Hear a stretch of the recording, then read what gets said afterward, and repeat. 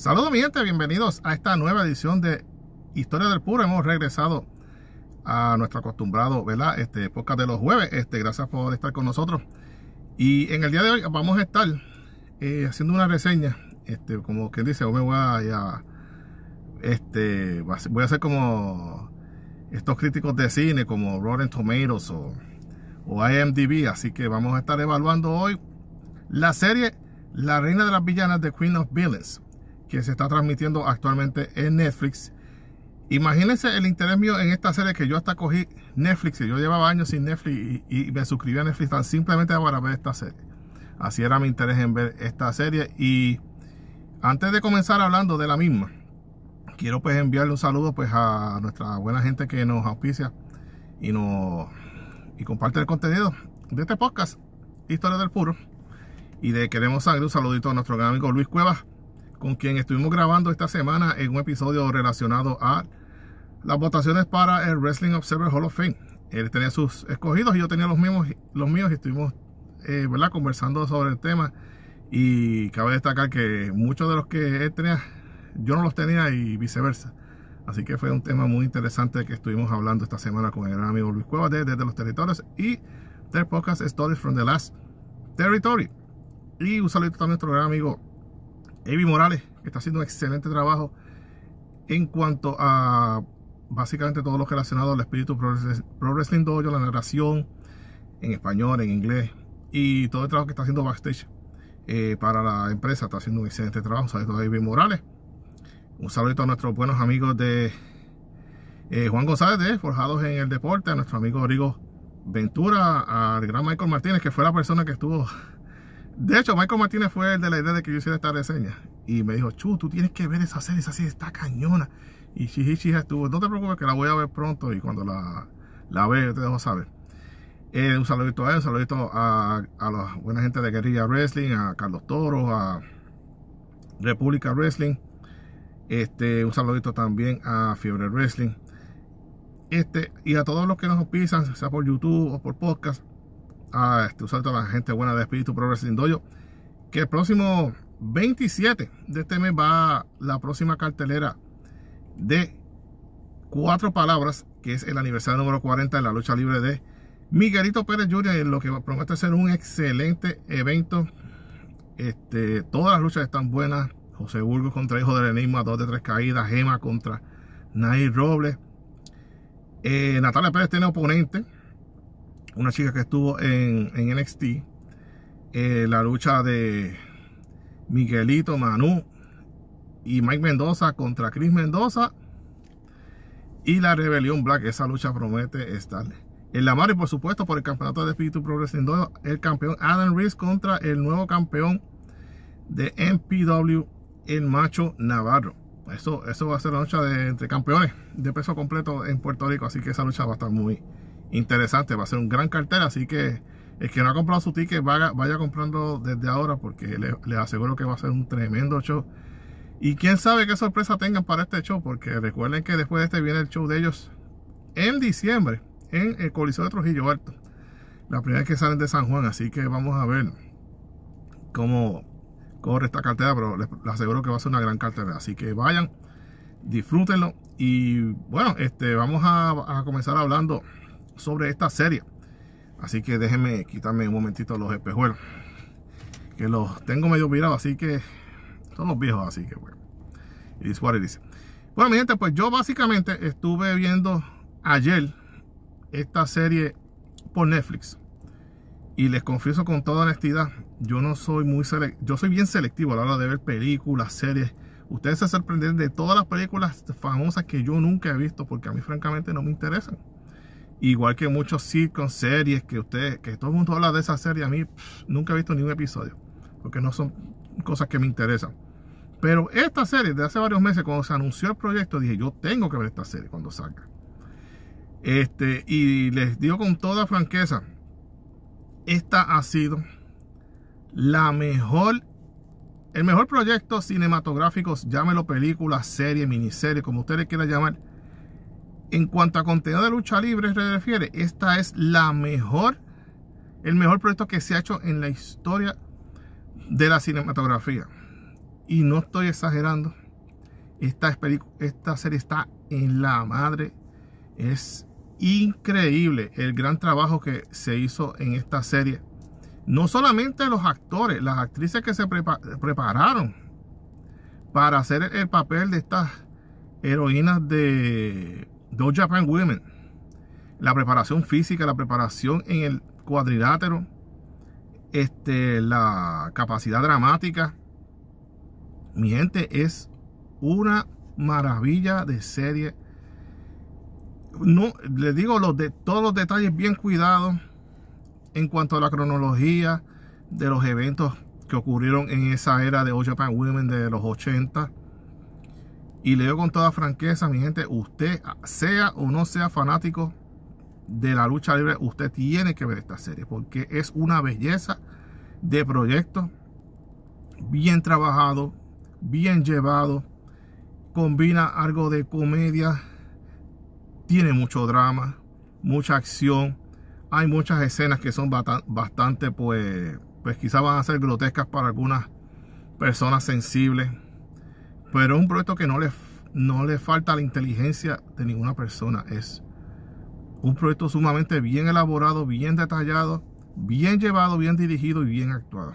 Es simplemente, yo le digo que del 10 al 10 yo le doy un 100 a la película. A mí no me sorprendería que inclusive esta serie reciba una nominación al Oscar de tan buena que fue. Y, obviamente han habido otros proyectos, este, como este The Wrestler, la que hizo este Mickey Rourke, que para mí creo que ha sido la mejor película de lucha libre. Yo sé que pues muchos de la vieja guardia van a decir que eso es una falacia, que eh, hay varias, se han hecho unas cuantas películas de lucha libre. Se hizo la primera versión de The Wrestler que se hizo en, el año, en los años 70, creo que fue en 1974. Está I Love to Hurt People, que básicamente es una. Se le da un vistazo a lo que era la Detroit Wrestling, Big Time Wrestling, con The Chic y todas las cosas que pasaban backstage y todo lo demás. Este, ese es otro gran proyecto. Pero lo digo con toda sinceridad, esta serie, película, mi gente, yo la vi de una sentada. Los cinco episodios de esta serie los vi todos uno detrás del otro. Y fue tan bonito y tan maravilloso de ver. Es algo fenomenal. Si algún día sacan esto en un DVD o un Blu-ray, yo lo compro y me quedo con él de colección porque es una cosa fenomenal. Todo el mundo hizo un excelente trabajo. La, que, la chica que hizo de Don Masumoto de Chigusa Nagayo, de Lines Asuka, este, la misma Debbie Masami, Yakisato, este, Yagua Yokota, este, los hermanos Matsunaga, este, los dueños de All Japan Women, en fin, es una, es algo fantástico y no puedo dejar de recomendarlo lo suficiente. Básicamente la sinopsis o el resumen técnicamente de esta serie, esto no solamente se le rinde eh, se centra en la figura de Don Matsumoto. Pero esto en cierta forma es como un homenaje al legado de All Japan Women. Porque aquí en esta serie estamos viendo, comienza cuando la pareja de Beauty Pair, que era Jackie Sato y Maki Ueda, se convirtieron en la primera gran sensación del Yoshi Wrestling en Japón durante los años 70 específicamente desde mediados de los 70 hasta finales. Básicamente desde 1974 al 79. Entonces, pues básicamente vemos como chicas eh, jóvenes como eh, Kaoru Matsumoto, quien después se convirtió en Don Matsumoto, eran fervientes admiradoras y seguidoras de Jackie Sato y de Beauty Pair. Y llegó un momento en que pues tantos roces y tantos hichos con, entre la pareja pues terminaron pues rompiéndose y pasó una situación con Maki Ueda por unas reglas que ella eh, violentó de la empresa All Japan Woman que forzó a que se hiciera una lucha de retiro entre las dos. Y pues eh, al romperse la pareja de Beauty Pair, bajan las asistencias, las casas de All Japan Women. Y aquí comienza eh, a entrar la protagonista en escena, porque eh, All Japan Woman, eh, de hecho, en la película, la película claramente especifica que es una historia de ficción, pero con personajes reales y situaciones, o sea, y eh, los eventos fueron reales. Está basada en historias reales, en cosas que sí pasaron, solamente que sí van a haber cosas que posiblemente no pasaron en la vida real, pero tienen lógica dentro de lo que se está llevando en la serie, explicando este, toda esta gama de cosas, estos cambios que están ocurriendo en, esa empresa, Japan Woman, que inclusive la película ni se le llama así, se le llama All Nippon Women. Igual que el grupo de Don Matsumoto, que realmente se llamaba The Atrocious Alliance, aquí lo llama The Bad Attitude Alliance. Inclusive las Crush Gal le cambiaron el nombre, les, dejaron el Crush, pero no le estaban diciendo Gals. So, eh, va a haber unas cosas distintas, quizá me imagino por cuestión de copyright, quién sabe, no, sé. Este, pero el hecho es que una vez eh, pues se rompe de Beauty Pair, la empresa al ver la caída de las casas decide dejar ir a Jackie Sato. So, básicamente la usaron, hasta, le sacaron todo el dinero que podían. Y una vez pues se dieron cuenta de que metieron la pata al, una, pues, sacar a Maki Ueda de la empresa. Y no lo digo por un spoiler, es que realmente eso pasó. Este, en un Japan Woman, este, si ustedes chequen la historia de la empresa, pues va a ver que Maki Ueda se retira en el año 79 de la empresa. Pero entiendo que posiblemente quizá también fue por la cuestión de la, de la edad. Vamos, ya alcanzó los 27 años en aquel entonces, quién sabe. El hecho es que pues eh, ellos deciden pues tenemos que crear una nueva estrella. Ya ya Kisato ya, ya nadie pues la quiere ver. Ya no nos trae gente a la, las carteleras tenemos que crear una nueva estrella y ahí que deciden irse con Yakuar Yokota. Y, esta, y, y, básicamente pues Jackie Sato hizo los honores y la puso arriba a ella y ella se convirtió en la nueva cara de la empresa All Japan Woman y básicamente pues de, de forma poco, poco ceremoniosa sacaron a Jackie Sato de la empresa pero eh, Jackie Sato, este, perdón, este Jaguar Yokota era una gran luchadora, pero no tenía el carisma, no tenía los intangibles que estaban buscando los dueños para aumentar las asistencias. Y entonces en ese periodo de 1980 viene una nueva clase.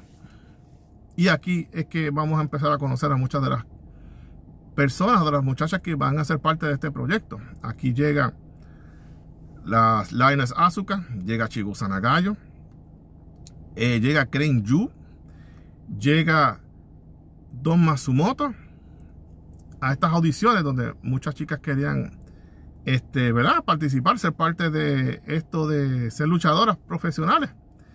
Y hacen estos tryouts y pues seleccionan a las personas que van a empezar a practicar en el dojo. Y cabe destacar que básicamente pues en la serie Don Matsumoto recibe eh, una hoja como diciéndole, mire, hay tryouts para ser luchadora y ella se le abren los ojos y ah, yo quiero ser luchadora, yo quiero ser parte de esto por, por Jackie Sato, porque ella es súper fanática de Jackie Sato y quería ser como Jackie Sato. Y básicamente pues esto fue una oportunidad de oro para ella, para Don Matsumoto, porque Don este, en ese momento que estaba viendo un hogar que estaba bastante disfuncional, con un padre que vamos a decirlo de esta manera, no era el mejor ejemplo no era el mejor padre ni para ella, la, para ella, su hermana y su madre. Y básicamente esto lo vio como una forma de escapar de ese ambiente disfuncional y perseguir su sueño de ser este, luchadora profesional. Y entonces pues se le da la oportunidad de entrar al dojo de de, de Japan Woman. Y aquí que comienza la travesía, donde comienza a conocer este, las distintas chicas, a identificarse con ellas y, conocer el background de, cada una de ellas. Específicamente, ella hizo una gran eh, amistad con Chigusa Nagayo, porque al igual que Don Matsumoto Chigusa venía de un hogar disfuncional que inclusive la abandonó, la dejó en la calle. Y esa muchacha, pues en la serie explica que todo el dinero que ella tenía lo gastó para llegar hasta el entrenamiento para ser parte de, de All Japan Woman y ya no tenía más dinero, ni para, ni para comer ni para buscar dónde vivir. Y es, bien, es bien chocante porque el amigo Michael Martínez me había comentado en una ocasión que parte de, de lo que le gusta a Chigusa ¿verdad? De sus chicas en la promoción este, que ella tiene en Japón, que es Marvelous, es que ella insiste que las chicas coman. Que ciertamente está en un régimen de ejercicio fuerte, pero que coman, que quieren que coman, que coman, que coman. Y Chigusa Nagaya llegó a ese entrenamiento de All Japan Woman bastante eh, flaca. Y básicamente, pues por falta de alimentación, porque no tenía con qué comer este, pues los golpes en el ring le estaban causando un efecto mayor al, debido. Y llegó un momento que hasta ya estaba pensado tirar la toalla y retirarse. Al cabo de prácticamente uno o dos años estando dentro. Y también Don Matsumoto estaba confrontando dificultades, eh, ¿verdad? Dentro de la empresa. Este, porque técnicamente no era la más capacitada. Era una muchacha que pues, este, ciertamente pues trabajaba con las otras chicas, hacía todos los entrenamientos, pero faltaba algo en ella. No había como que la posibilidad de que se le pudiera dar ese push en el futuro y hacerla y, que se convirtiera en una estrella. Y llega este momento en que, y esto pasó, porque yo lo vi en mi podcast, este, donde hablamos de Chigusa Nagai, si no me equivoco fue el capítulo 11, si no lo han escuchado, vayan a escucharlo para que sepan este, más de la carrera de Chigusa Nagayo. Chigusa le este, manifiesta que ya siente que ya debe retirarse, que ya siente que no va a lograr nada en el deporte de la lucha libre y quiere pues con su background de artes marciales, ella le dice a Lioness Asuka, yo quiero luchar contigo, yo quiero que nos vayamos a todas. Que esta va a ser mi última lucha, nos vamos a ir a todas. Y ellos aceptan, tiran esta mega luchón. Y ellos eran la segunda o tercera lucha de abajo para arriba de la cartelera y se quedaron con el evento completo. Ese día, All Japan Woman dije, ya no tenemos una, ahora tenemos dos estrellas aquí. Y ahí comenzó lo que conocemos como las Crush Girls.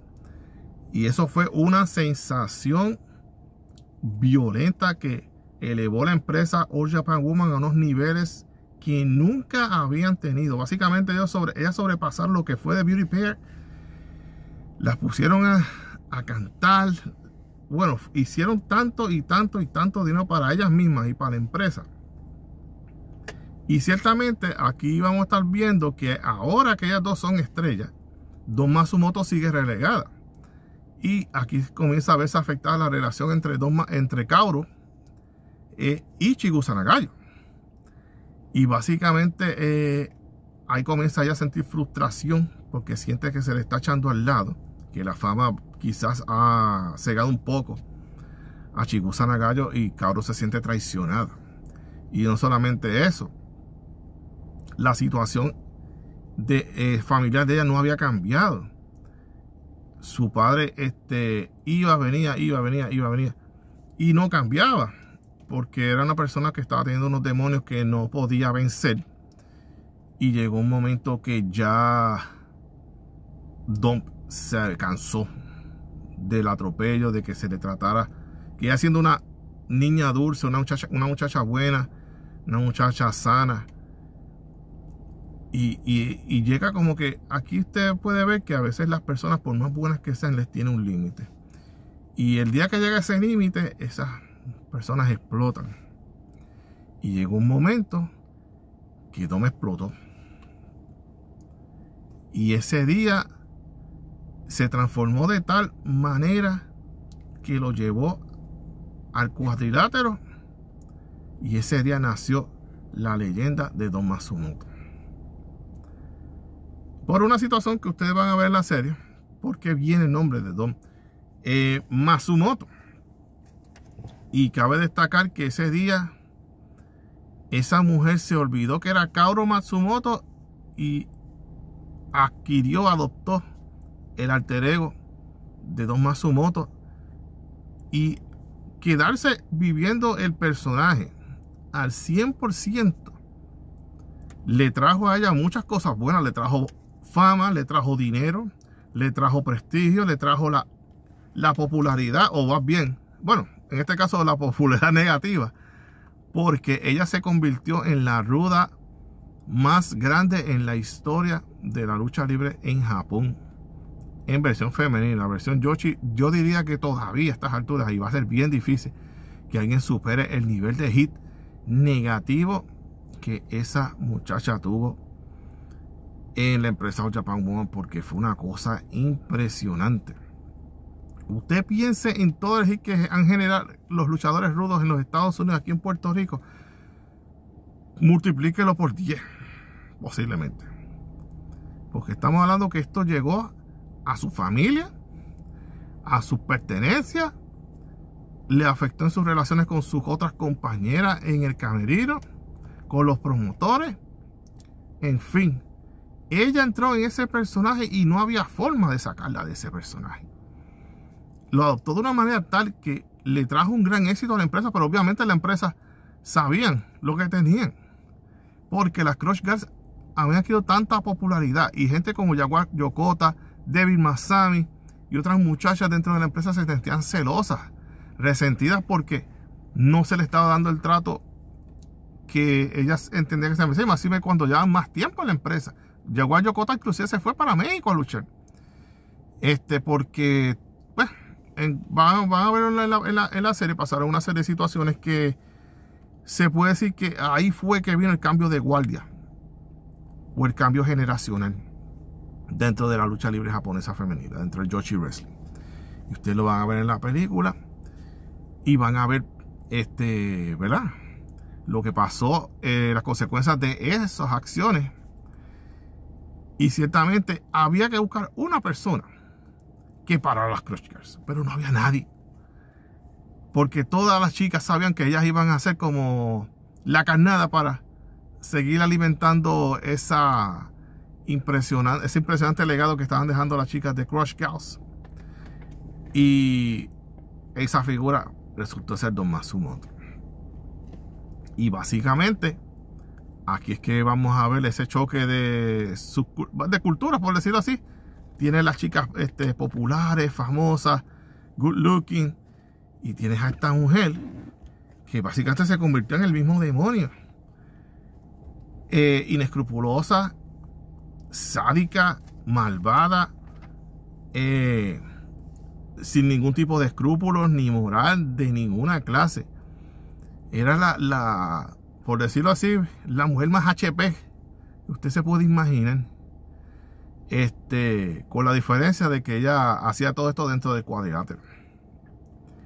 Y claramente ella nunca fue la luchadora más técnica sobresaliente en esa área, pero eh, siendo una ruda, ganándose el odio de la gente, usando objetos, infligiendo daño, no importa quién se le parara de frente, inclusive gente de su propio stable, de su propio grupo, pagaron las consecuencias. Inclusive una de las de sus miembros eh, terminó renunciando a retirándose de la lucha libre como luchadora porque ya no quería seguir bregando con Don Matsumoto y su conducta y su forma de ser. Y lo van a ver serie, eh, la frustración, el coraje que siente ella porque ¿por qué tú me haces esto? Todo porque ¿sabes por qué tú cruzas esta línea y todo ese tipo de cosas? Es como si Don no supo no supiera cuál era la realidad y cuál era la fantasía. Y, y Cauro, ¿dónde se tragó a Cauro? Y, y fue algo, pues, es algo que ustedes tienen que ver porque es algo sumamente impresionante, es una cosa espectacular y yo la seguramente le va a gustar mucho la serie. La serie es bien interesante y de ahí, pues básicamente una vez sigue creciendo la fama de, de Don Matsumoto.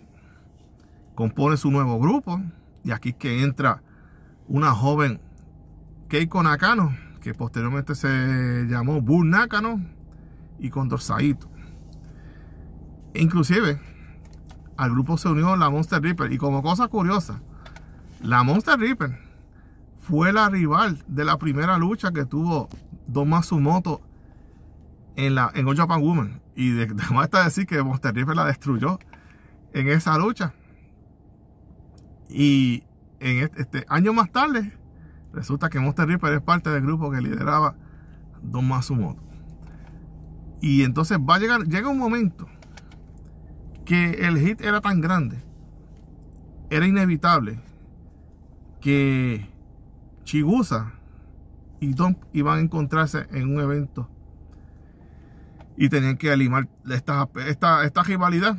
Y ya de por sí Chigusa estaba teniendo issues también con Lioness Asuka, porque este, Lioness quería llevar la empresa hacia este estilo de lucha libre, seria, eh, deportiva, y Chigusa básicamente pues tenía aspiraciones también en el plano individual. Ella quería ganar el campeonato eh, máximo de All Japan Woman y se hizo un torneo para eso. Y pasaron una serie de cosas que ustedes van a ver en la serie. Aquí usted puede ver los movimientos tras bastidores, eh, backstage, este, la, las políticas y todo ese tipo de cosas. Usted va a ver algo, es bien interesante. Este, las cosas que se dan backstage en esta, en esta serie en relación a no solamente las cross guard entre, entre ellas mismas y entre y básicamente Chigusa Nagayo con dos Matsumoto. So llega la gran lucha donde pues la famosa lucha de cabellera contra cabellera que pues hablé de esa lucha en el último episodio de Queremos Sangre que está en YouTube disponible y en podcast que pueden verificar y esa fue como quien dice la culminación de toda esa serie de emociones y de toda esa serie de cosas que se fueron formando este poco a poco. Y tuvo pues la conclusión que el que no lo ha visto pues lo va a ver en esa serie. Y qué repercusiones trajo eso para la empresa este, las batallas que estaban librando ellos con los canales de televisión porque el contenido que estaban presentando era demasiado fuerte para los televidentes. Estaban buscando un Japan Woman con la gran popularidad que estaban teniendo volver a, a, pues, cosas que sí hicieron en la historia de ellos, estaban sacando unos ratings tan, brutales que los movieron a prime time en Japón. Así que el éxito fue bien grande. Esta película, y posteriormente pues también pues habla qué, qué cosas pasan en la vida de Don Matsumoto que básicamente la hacen reflexionar y llega este momento que tiene que reencontrarse con Kauro y recordarse que había una otra persona detrás de la pintura y detrás de ese personaje había una persona que era bien distinta a lo que estaba proyectando en el cuadrilátero. Y tuvo que darse la visión de reencontrarse con esa persona, de reencontrarse con personas que en su momento en el camino pues fueron sus aliadas y sus mejores amigas y sus confidentes y todo lo demás. Y llega pues eh, el momento de que pues todo ese proceso lleva algo.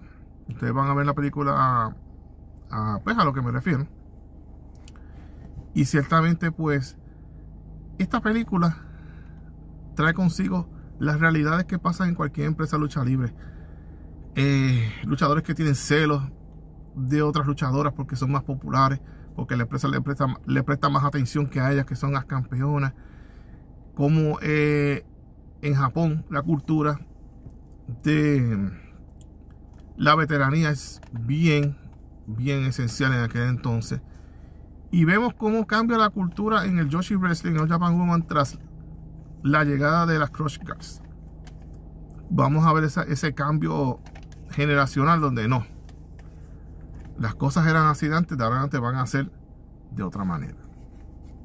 Y aquí pues van a haber muchas cosas, van a haber drama, hay mucho drama intenso en esta serie. Eh, Aquí se ve todo el trabajo que tiene que pasar una luchadora en Japón para llegar a ser una profesional y no es nada fácil. Es bien, bien fuerte, es bien difícil. Y vemos todo lo que se, cómo se cuadran los eventos, a quién empujamos, este, qué vamos a hacer con esta persona, qué vamos a hacer con esta persona, cómo vamos a hacer esta historia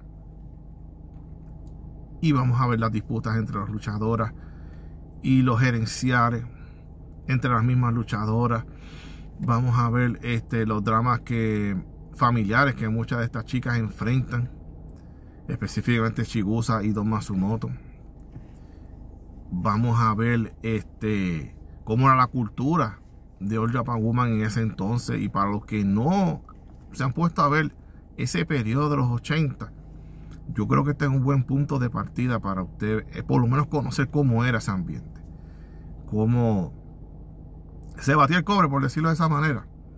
Y ahí usted va a saber cómo es que en ese momento All Japan Woman creó la marca de lucha libre que todavía al sol de hoy no ha sido superada ni siquiera en los Estados Unidos.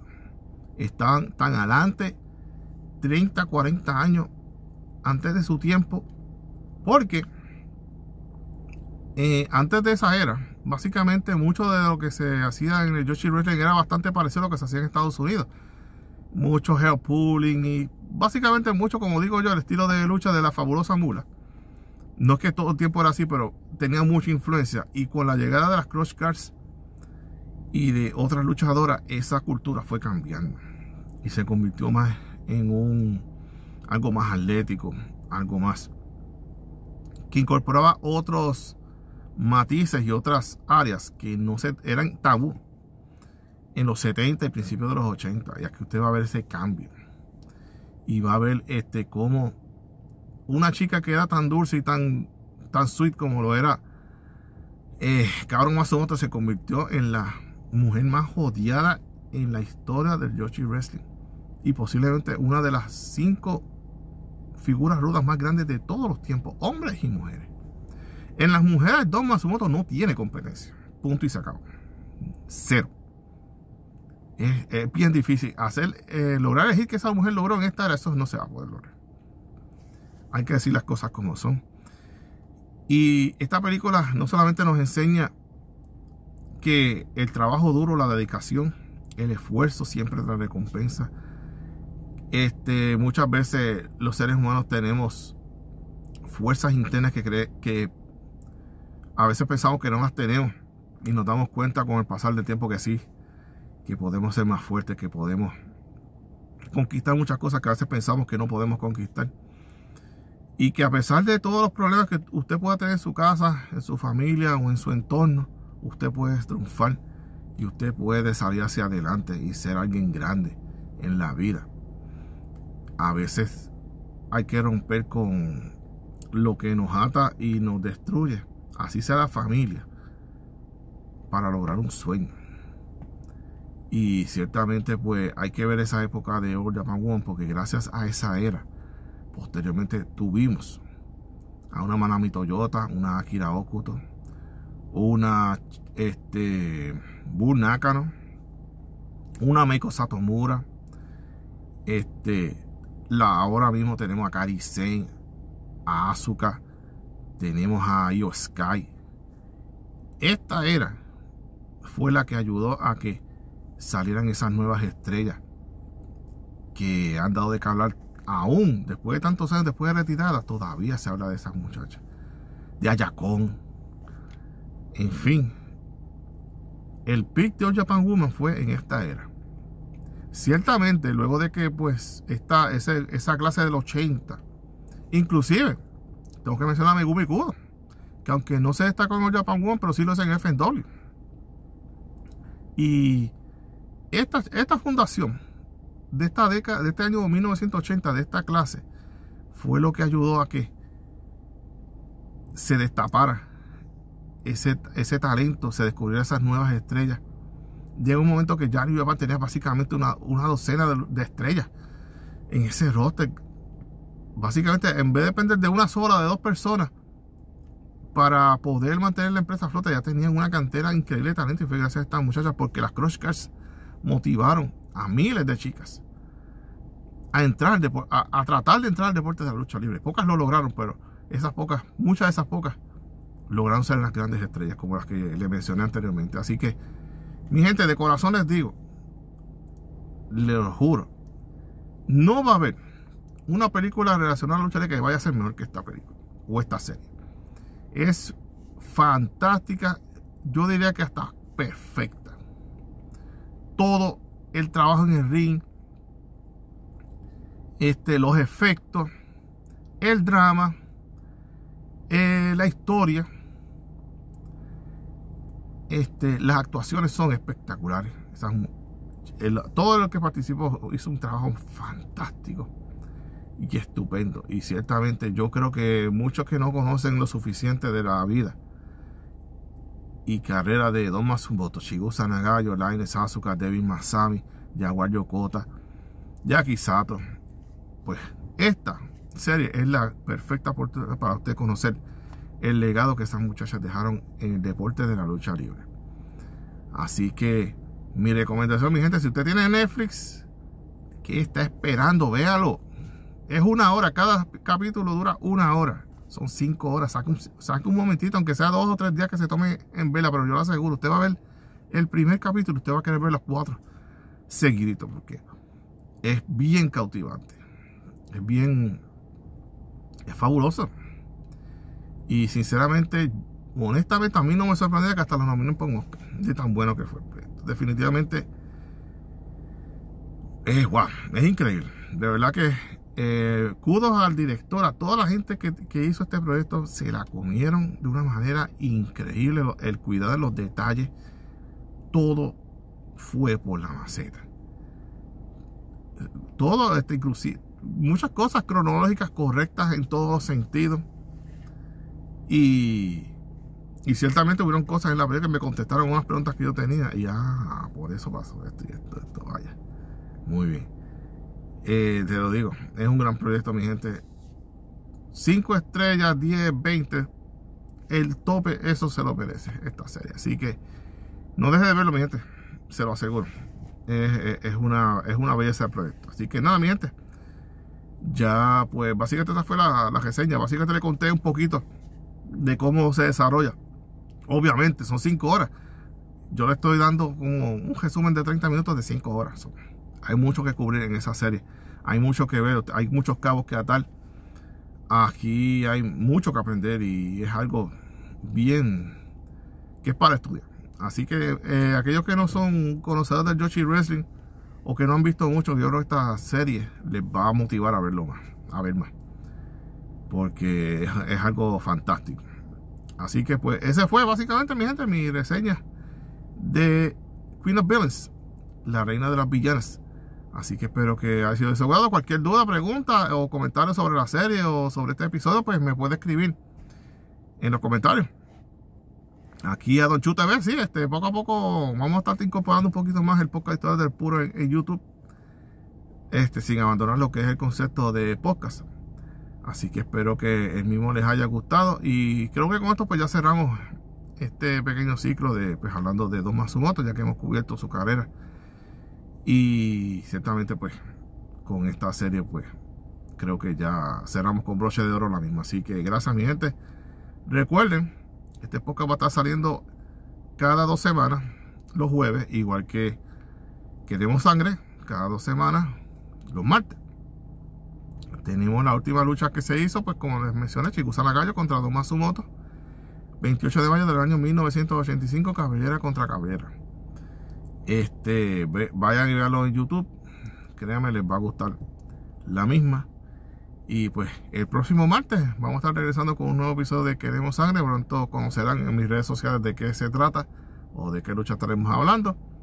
Por lo pronto, pues antes de despedirme, les recuerdo mis redes sociales: Salas underscore Rots en Twitter, Salas underscore Rots en Twitter. En Instagram, Jesús Wrestling.84, Jesús Wrestling .84. En ambas plataformas tocamos todos los temas del podcast y de lo que estamos trabajando en nuestras redes sociales. Eh, en, materia de lucha libre y demás. Y recuerden también, pues obviamente, en este canal que está viendo, Don Chu TV, donde no solamente estamos presentando contenido de lucha libre, pero de otras cosas, deportes, lo que se me ocurre en el momento. Así que espero visiten el canal, lo disfruten lo compartan, le den share, le, le den campanita y todo ese tipo de cosas. Eh, así que mi gente, cuídense, gracias por sintonizar este esta reseña especial este, sobre The Queen of Villains. Este, así que cuídense un montón, mi gente. Nos estaremos viendo este próximo martes en Queremos Sangre y dentro de dos semanas otro nuevo episodio de historia del puro. Así que Dios me los cuide, mi gente. Como dicen nuestros hermanos japoneses, domo arigato. Sayonara.